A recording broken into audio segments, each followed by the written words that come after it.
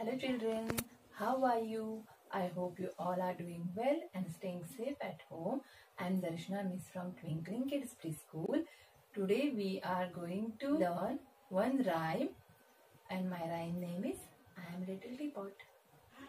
Okay everybody, put your one hand on your waist like a handle and other hand to the side like a spout. Are you ready little teapots?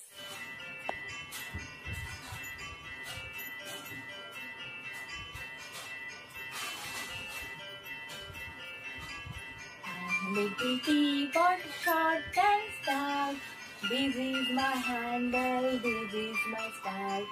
When the water boiling, hear me shout. Just lift me up, pour me out. Little teapot, short and stout. This is my handle, this is my spout. When the water boiling, hear me shout. Just lift me up, pour me out. Let's revise one more time. I am a little teapot, short and stout.